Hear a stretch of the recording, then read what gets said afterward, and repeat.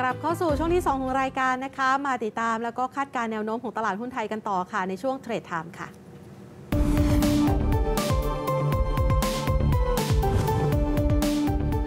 Trade Time เช้าวันนี้นะคะ พูดคุยกับคุณวีรวัฒน์ วิโรจน์โภคาผู้อำนวยการอาวุโสฝ่ายวิเคราะห์หลักทรัพย์จากบริษัทหลักทรัพย์ฟินันเซียไซรัสค่ะ สวัสดีค่ะคุณนิคะสวัสดีครับ สวัสดีครับหุ้นไทยนี้ขึ้นต่อเนื่องเลยนะครับ แนวต้านที่เคยหลายค่ายมองกันไว้พันหกร้อยห้าสิบพันหกร้อยหกสิบนี้ก็ทะลุมาเรียบร้อยแล้ว เรามองหุ้นไทยยังไงต่อดีครับ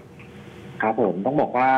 บ้านเราแกว่งแข็งแรงกว่าภูมิภาคค่อนข้างชัดเจนนะครับ แล้วก็ระยะสั้นเนี่ยเม็ดเงินเหมือนจะกลับเข้าสินทรัพย์เสี่ยงนะครับ หลังจากที่ Dollar Index เนี่ยเริ่มมีการอ่อนค่าลงมาตั้งแต่ช่วงปลายสัปดาห์ก่อนนะครับ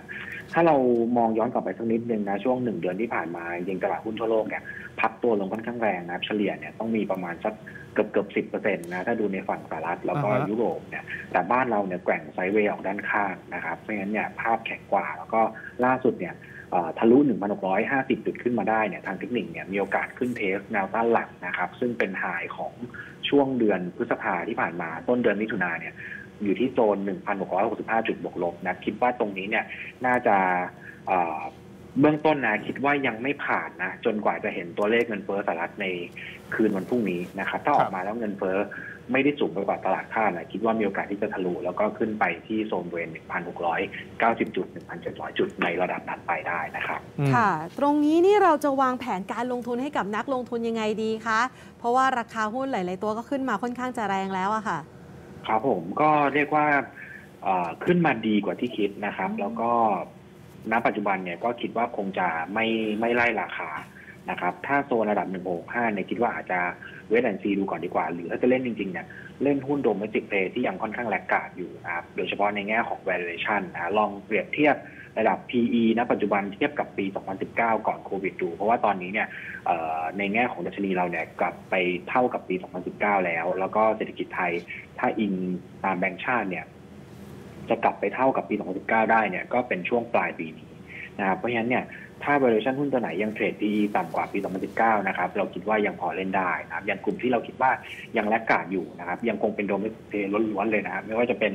แบงค์นะครับ ค้าปลีก แล้วก็ property นะครับ เราเชื่อว่าสาม sector เนี้ยยังคงน่าสนใจ ส่วนพลังงานเนี่ยอาจจะต้อง ต้องดูนิดนึงนะคือรอจังหวะช่วงปรับลงเนี่ยราคาน้ำมันปรับลงแล้วเข้าซื้อเนี่ยจะดีกว่าไปไล่ราคาช่วงบวกนะครับอืมถามว่าพลังงานยังน่าสนใจไหมยังคงน่าสนใจเพราะว่าน้ำมันคิดว่าลงยากนะครับแล้วก็เดี๋ยวเข้าหน้าหนาวในดีมานน่าจะหนุนให้ราคาเนี่ยขยับขึ้นได้นะเพราะฉะนั้นน้ำมันรอย่อซื้อเช่นกันนะครับครับไหนๆก็ทะลุมาขนาดนี้แล้วผมอยากจะขอมองโลกในแง่ดีสักหน่อย ถ้ามองไปไกลมันมีโอกาสที่จะไปทะลุเกินพันเจ็ดหรือขึ้นไปมากกว่านั้นอีกเลยไหมครับ พอจะเป็นไปได้ไหม ถ้ามองปีหน้าเนี่ยเป็นไปได้ฮะคือปัจจุบันเนี่ยเราให้เซ็ตท่าเจ็ดปีนี้เนี่ยอยู่ที่ประมาณพันหกร้อยเจ็ดสิบจุด ซึ่งอันนี้เนี่ยเป็น SET target ที่เราให้ไว้ตั้งแต่ช่วงกลางปีนะ ซึ่งมันเป็น SET target ที่ราคาน้ำมันเนี่ยก็ยังไม่สูงเท่านี้ แล้วก็พลังงานหนุนขึ้นมาเนี่ยเบื้องต้นเนี่ยรวมๆนะตลาดก็ให้กันเฉลี่ยเนี่ย SET target ก็อยู่มาสักแถวๆเกือบเกือบพันเจ็ดเพราะฉะนั้นเนี่ยคิดว่าตรงนี้ไม่ยาก แต่ถ้าจะให้ขึ้นไปพันเจ็ดร้อยห้าสิบนะครับ คิดว่าคงต้องเป็นปีหน้านะครับอืมเพราะว่า EPS ปีนี้เนี่ยอาจอาจจะยังไม่ไหวนะคงจะต้องไปรอลุ้นปีหน้า ซึ่งเบื้องต้นเนี่ยทางเราประเมิน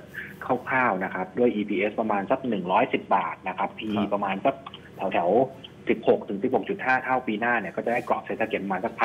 1,750 ขึ้นไปนะครับครับค่ะขอท็อปพิกเอาไว้สำหรับการลงทุนช่วงนี้หน่อยค่ะ ครับผมเอ่อสำหรับตัว ภาพตลาดนะอย่างที่บอกคือขึ้นมาค่อนข้างเร็วนะเพราะฉะนั้นเนี่ยเรามองหุ้นที่ยังอยู่ในโซนค่อนข้างต่ำอยู่นะครับ อย่างเอ่อช่วงนี้เนี่ยเรามองว่าตัวที่น่าสนใจเนี่ย BM กับ CK นะครับสองตัวนี้เนี่ยเรามองว่าน่าจะได้ส่งเชิงบวกในระยะกลางยาวจากทั้งธุรกิจรับเหมาที่ดีขึ้นนะครับรถไฟฟ้าที่ดีขึ้นแล้วก็สัปดาห์ที่แล้วเนี่ยมีข่าวบวกเกี่ยวกับตัวสายสีส้มด้วยครับนะครับดังนั้นเนี่ยเรามองคู่เนี้ย valuation ยังไม่แพง นะครับ โดยเฉพาะตัวแม่อย่าง CK นะครับ เรามองว่าทุกๆธุรกิจเลยนะจะดีหมดนะ ไม่ว่าจะเป็นรับเหมา แล้วก็ลูกๆอย่าง BM นะครับ CKT แล้วก็ TTW นะครับ เราคิดว่าน่าสนใจ e a r n i n g ในช่วงครึ่งหลังน่าจะเป็นขาขึ้น แล้วก็น่าจะขึ้นยาวถึงปีหน้าเลย ก็เลือก CK แล้วกันนะครับ ราคาเป้าหมายอยู่ที่ 25 บาท โอเคค่ะได้ครับ วันนี้ขอบพระคุณนะครับ คุณวินวัฒน์ขอบคุณครับ ขอบคุณค่ะ สวัสดีรับค่ะครับ